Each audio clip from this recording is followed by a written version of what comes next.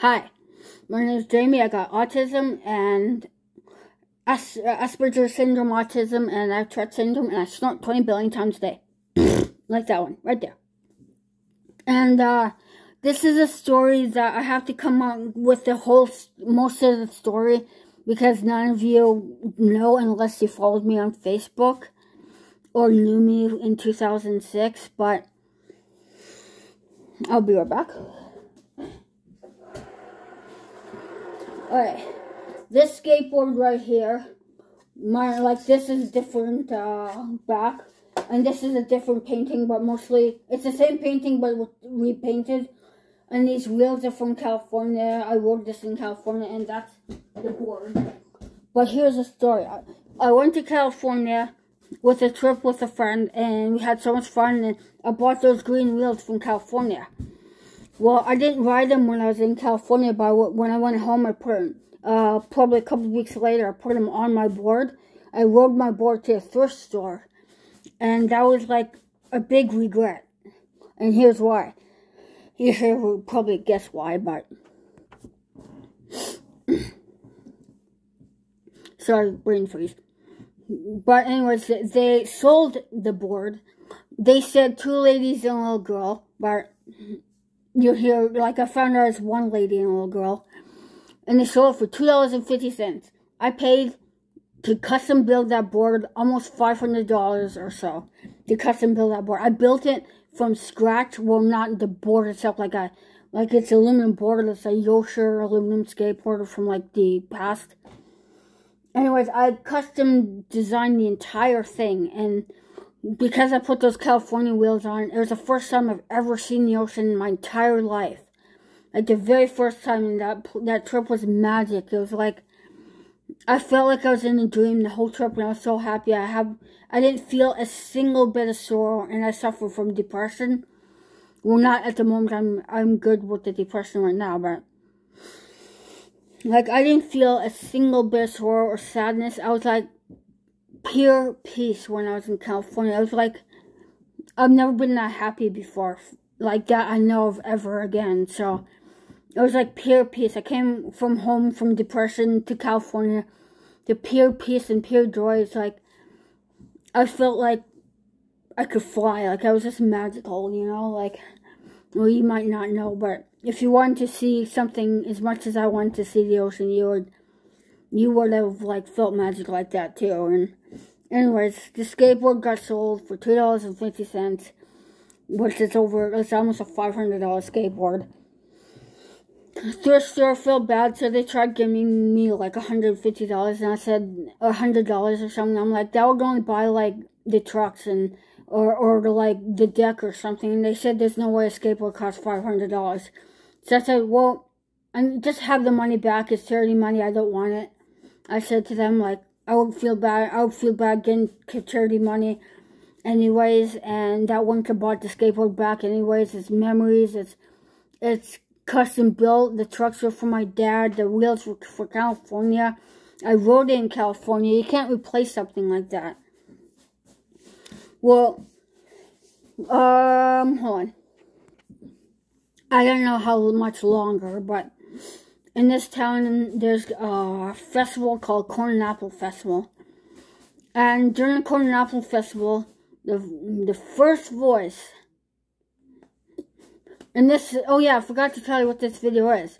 Listen to the first voice and never the second voice. That's what this video is, and you probably see it in the title, but I'm just telling you because, like, this is the video anyways.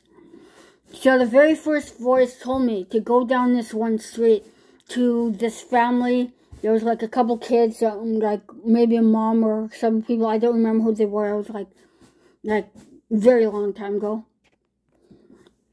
And then the second voice popped along and said, turn, don't go that way. Go the other way. So I listened to the second voice, and that's what usually people do that comes out bad. The second voice is bad. And whether not, whether any of you believe in God or not, He is real. He's proven Himself to me, and I don't know how to prove Him to you if you don't believe, but, like, He is the first voice. The devil is the second voice. The devil tries to make himself stronger, and that's why people listen. But always listen to the first voice. Like, never listen to the second voice. And near the, near the end, like, closer to the end of the video, you're to find out why. It's extremely tragic, and I might cry, I don't know, but it's not about the skateboard. But anyways, they told, God told me, go the first way. Go see those people. Devil told me go second way. So I listened to the devil. I don't know why. I don't know why people listen to a second voice.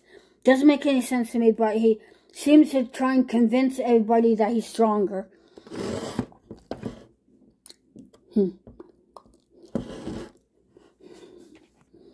But that happened after a couple times in a way to go somewhere that my skateboard might be.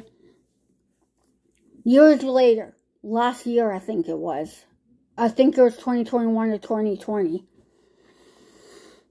I uh, was out milk, and I didn't have a single penny to my name, but uh, the uh, co-op store right next to me pretty much always helps me when I don't have money to help me get something if I really need it. And uh, God was saying, go to the store and get milk. Go to co-op, get some milk. I'm like, I don't have money.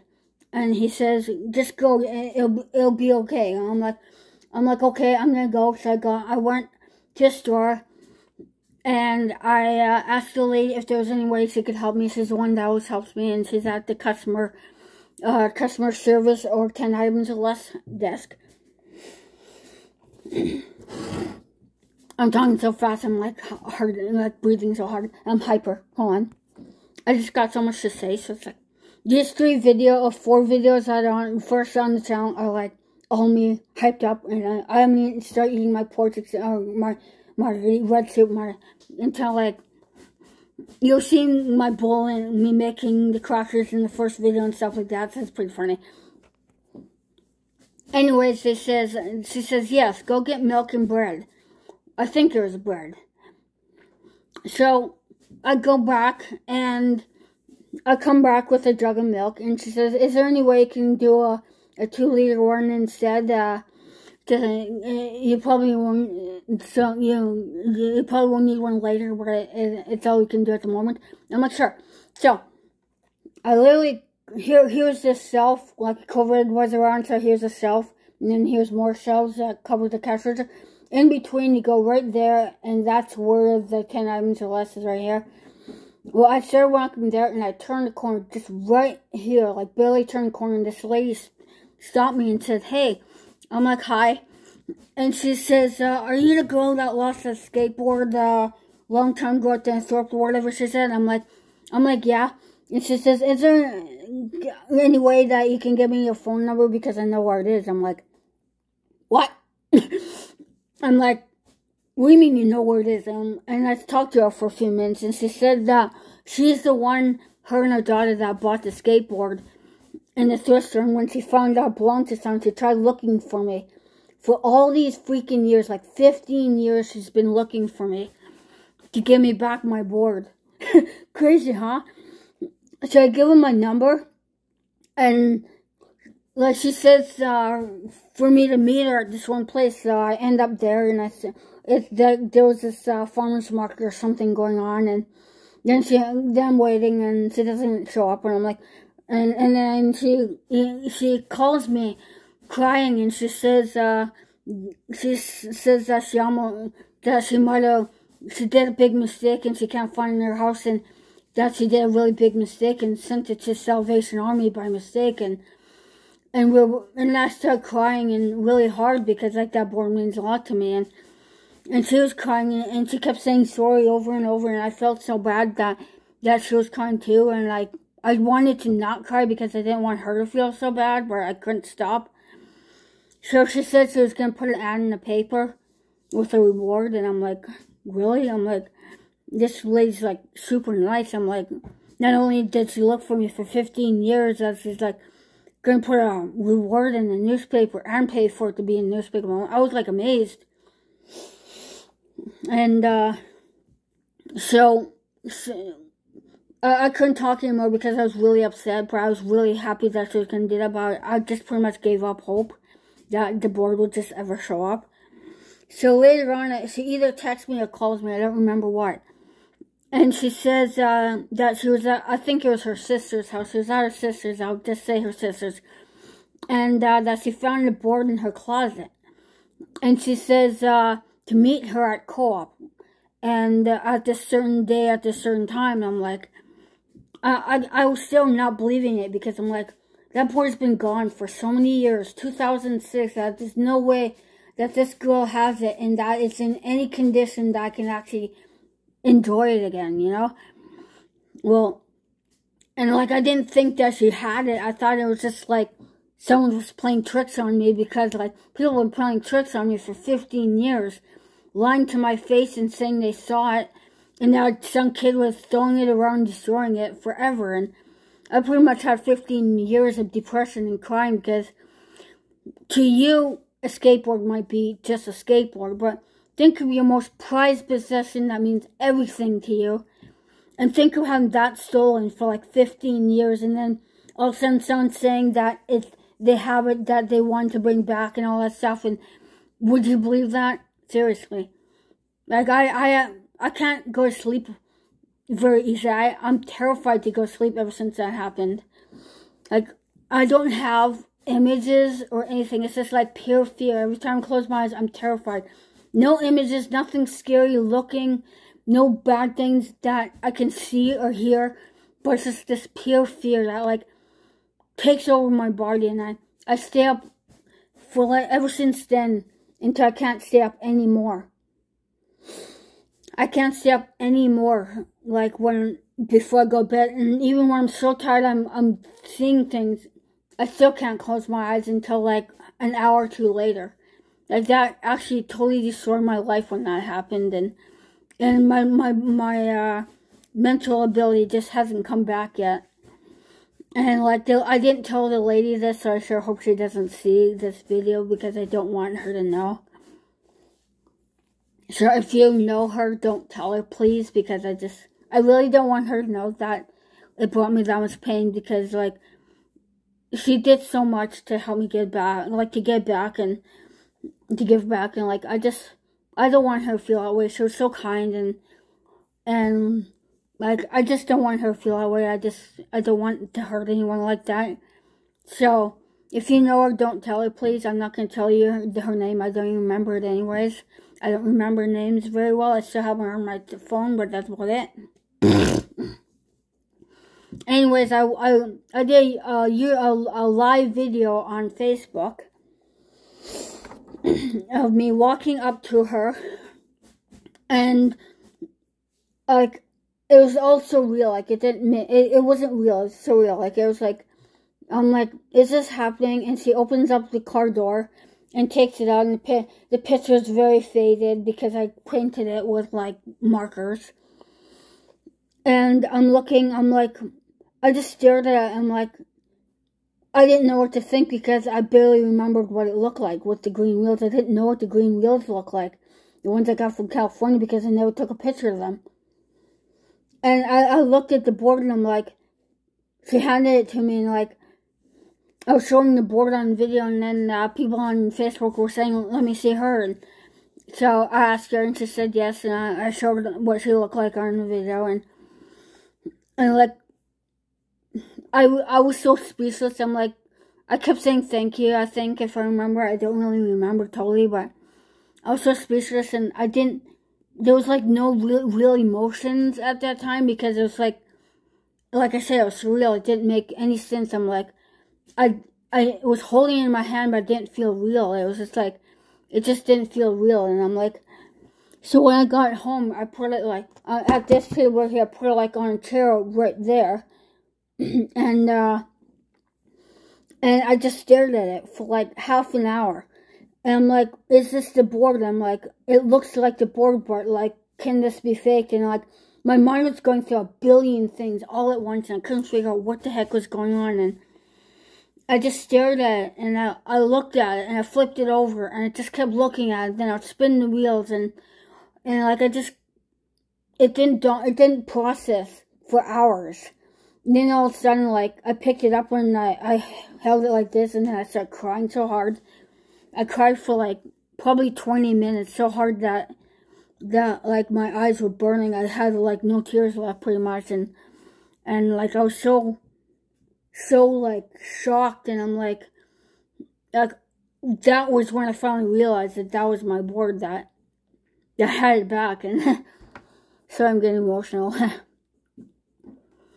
like I just like I said for any any guys that are watching it's just a skateboard to you or even some girls but to someone that's autistic that puts their heart into it, their drawings, their like everything that like my dad bought me those trucks. The wheels were from California. The board I rode in California. The painting was my own imaginary creature, and the grip tape was unique out of any grip tape possible. I'll show you what I mean. You probably saw in the beginning of the video, but this like these lines here, I tried imitating them on another board and like this part here, this metal thing. And like this here, like the way I made the grip. I made it sort of look like an old school board, but like totally different on the front. And this is the painting, mostly the painting that I had on the board before, except it was slightly different colors. Before I had Sharpies and this one is not Sharpies. But this is the California wheels. This is the wheels I bought from California. These trucks are the trucks that my dad bought me. And this, I haven't even changed the bearings yet. These are original bearings from 2006. And some of them are pretty hilarious, like this is. Okay, not that one. Hold on, wait. They're, they're mostly okay, but there's one really squeaky one.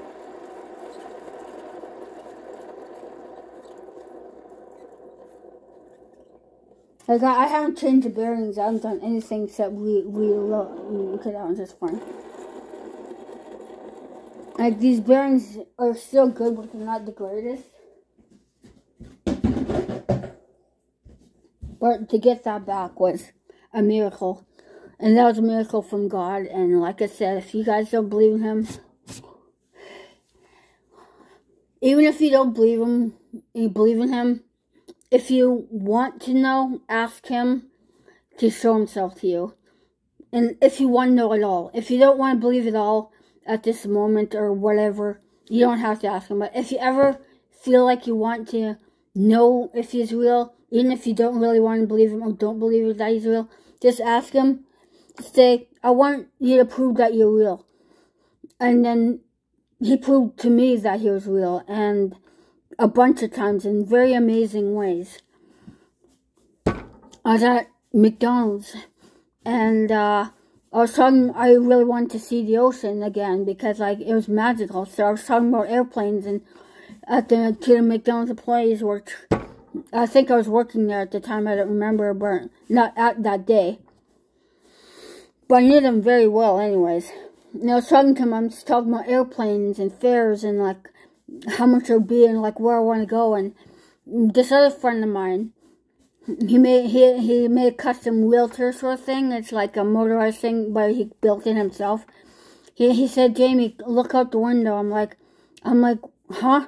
I, I stop and I turn around and he's like, look out the window, there's airplane. I'm like, so?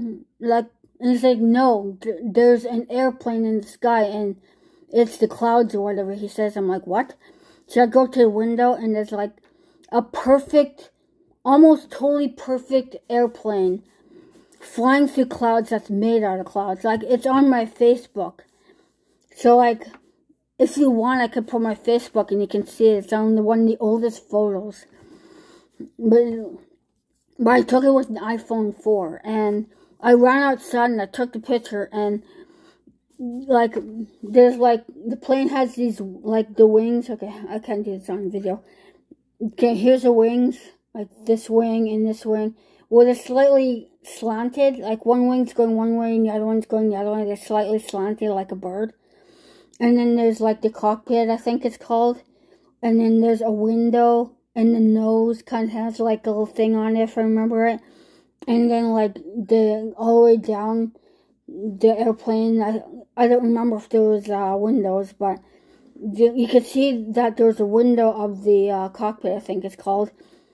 Perfect window in the exact right spot. I'm telling you, it was a freaking airplane of clouds. Like, and there was this big puffy cloud that the plane was going through. So you could see one wing at an angle and the other wing going through that way and the tail, which was a perfect looking wing tail, like plain tail. It was like, this could not be faked. Like, what I saw cannot be faked and cannot be some random thing because, like, I was really talking about airplanes and there it was in the sky for me to take a picture of. If you guys don't believe, go on the, go on the Facebook thing. If I share my Facebook, go on there and, like, have, like, a professional diagnose that picture to see if it's real. Like, if you really want to, if you really don't believe it have this guy diagnose the picture. I didn't do any editing, nothing. I took it straight from the phone, put it on Facebook. That's it. So if you don't believe me, prove that picture is proof. And then there's another picture on there that it was nighttime and God, uh, I was taking a long exposure with my phone. And it had tripod and everything. You know what? You know, uh, King Kong, I think it is, or uh, not King Kong the video game, uh, the, the gorilla that throws things at Mario. Well, think of him with, really big hands, and he he's like, he's like this, his, his feet are like down on the floor like that, and his really big hands are like here and here, and he's just, like, that picture is a long exposure, and the clouds turned out to be a gorilla, and like, he looks exactly like a gorilla with his hands like zoomed in on the shot and he's behind.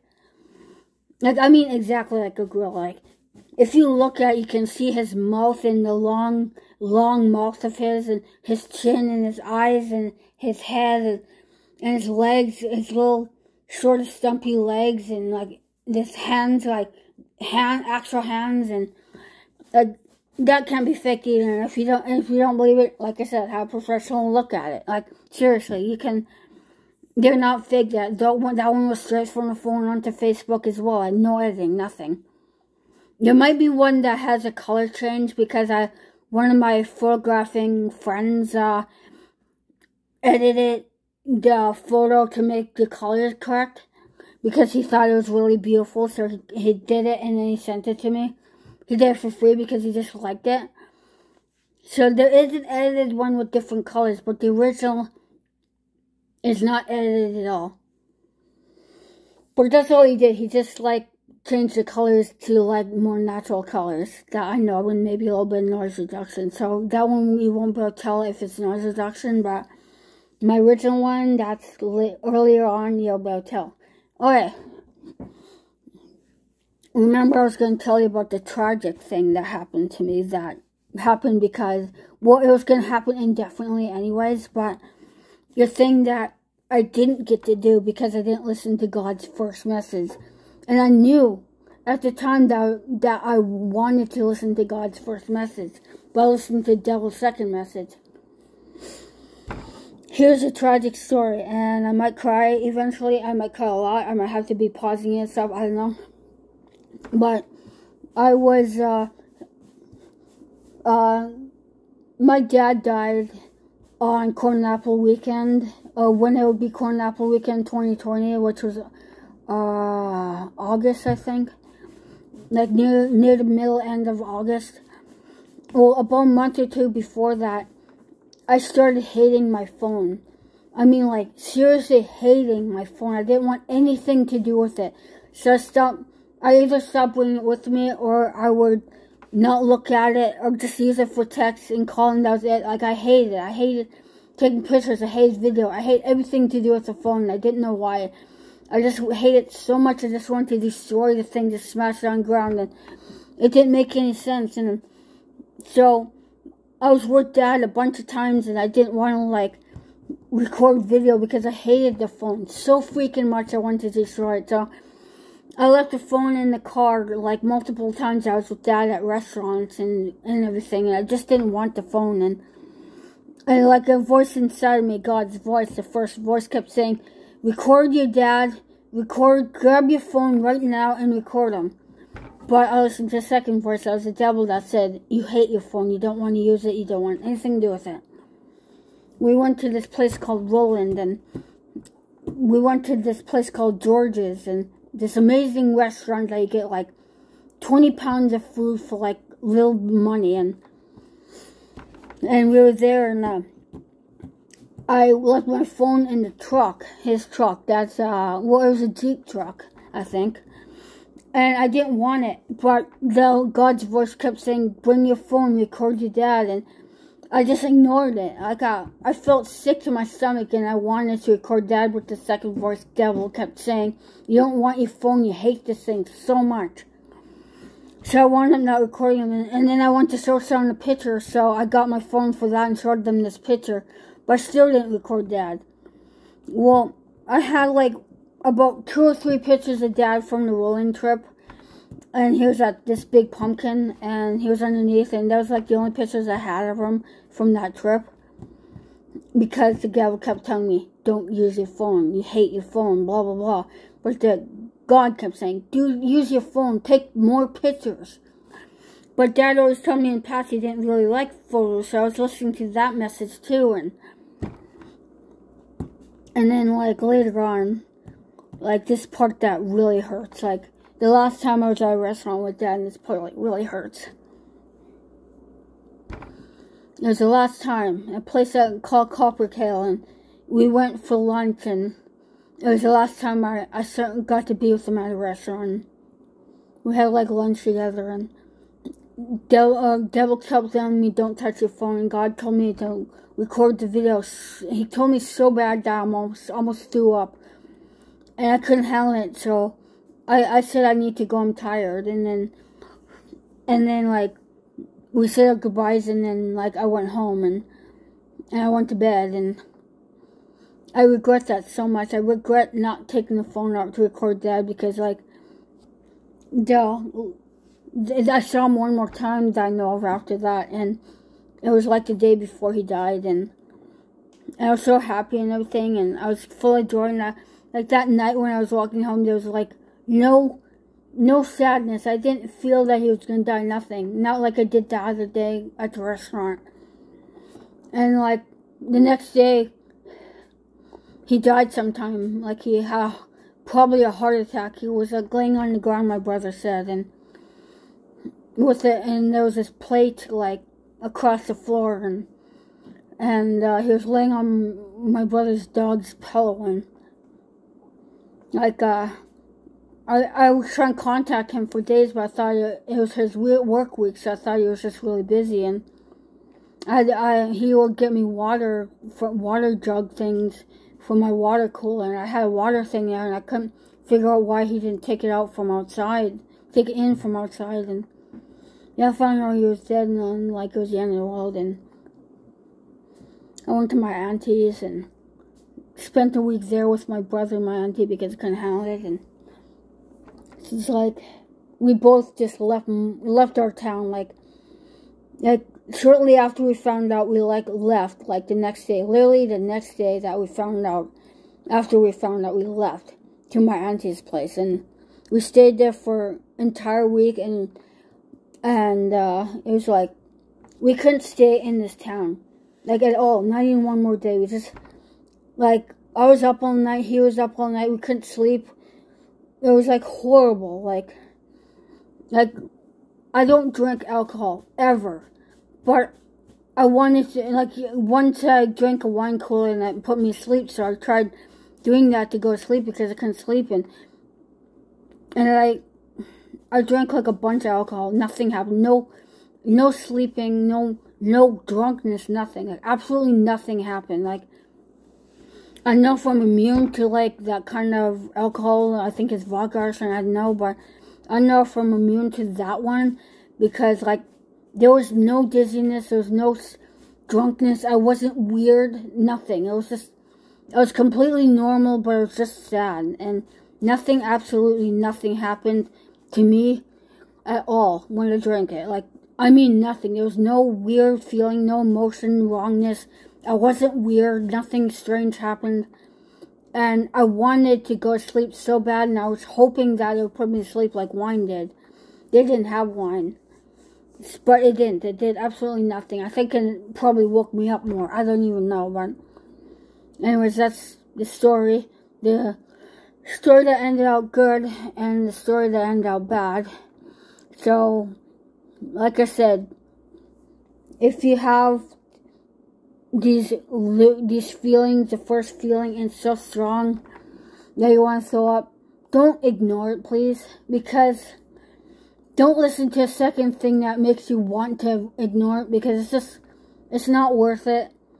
Bad things just happen when you ignore the first one because that's God and the second one's the devil. When you listen to the second one, the devil, like you're never, ever, ever going to like you're never gonna forgive yourself for not listening to the first one, so sorry that this video became really sad, but this is a lesson that I learned and I don't want to do it again. So, see ya.